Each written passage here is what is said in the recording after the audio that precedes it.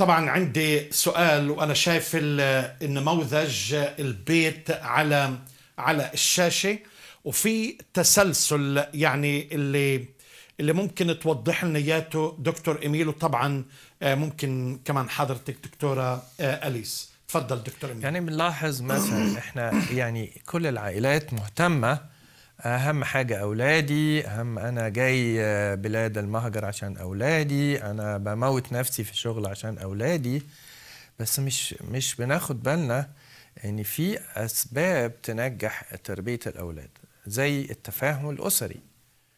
آه ولو بيت ما فيهوش تفاهم آه، مش هينجح تربية الأولاد. مهما موتنا نفسنا وجبنا لهم أغلى الأشياء وحوشنا لهم أغلى الم- أكتر المبالغ وجبنا لهم زي في مصر يا لازم أجيب له شقة أجيب له مش عارف إمكانيات يعيش بيها. بس من غير تفاهم إحنا مش بننجح. والأولاد آه، يعني بي بي بيتأثروا حتى بالجو العام. يعني مثلا آه، لو لقى بابا وماما منقسمين يحسوا إن دول فريقين. فلما الولد يحب يشتري حاجة وعارف ماما مش هتوافق يروح لبابا. أو عارف بابا مش هيوافق يروح لماما. هو ده الذكاء الأطفال. آه وممكن بابا يقول طب خد يا حبيبي اشتري بس ما تقولش لماما. ومش واخد باله إن إحنا بنهدم أخ شيء خطير. لأن الطفل بياخد الأمان والإطمئنان من التفاهم الأسري. المشاجرات الأسرية من أكتر الحاجات اللي بتهدم البيت المسيحي وتربية الأولاد. أكتر حاجات تضيع الأمان.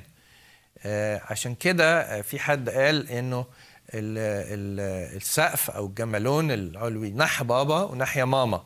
لو إحنا مش متحدين آه، الأولاد هيتكشفوا كل العوامل التعرية العواصف والأمطار.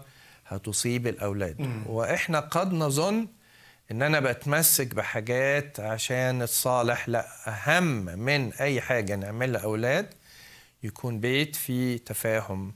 أهم هدية نقدمها للأولاد بيت فيه هارموني. أهم آه، آه، يعني تحضير الأولاد كويسين. يعني إحنا ممكن نلاقي أولادنا بيخاف. وأنا أقول له يا ابني لازم تاخد بالك لازم اللي يكلمك تكلمه اللي يضربك اضربه.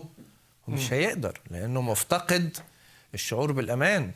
ما خدش الأمان اللي المفروض ياخده في البيت اللي يخليه يطلع شجاع ويطلع واثق من نفسه. هكذا برضو آه، ال- ال- الأولاد هيتأثروا بنفسيتي. لو أنا آه، عصبي متوتر آه، أكيد أنا ه- هبقى عصبي مع مراتي وعصبي مع أولادي. أولادي هيطلعوا مهزوزين عصبيا بسبب عصبيتي. آه، لو أنا طلعت آه، مثلا عندي عقدة من الشهوة أو من الج- الأخطاء الجنسية هبقى حريص زيادة مع الأولاد أعمل لهم عقدة من لا شيء بسبب آه، مفيش شفاء في نفسيتي.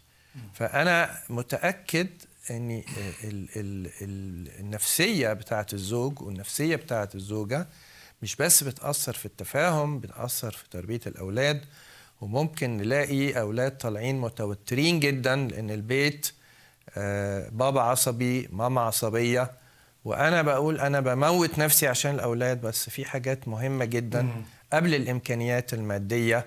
أنا محتاج أحضرها.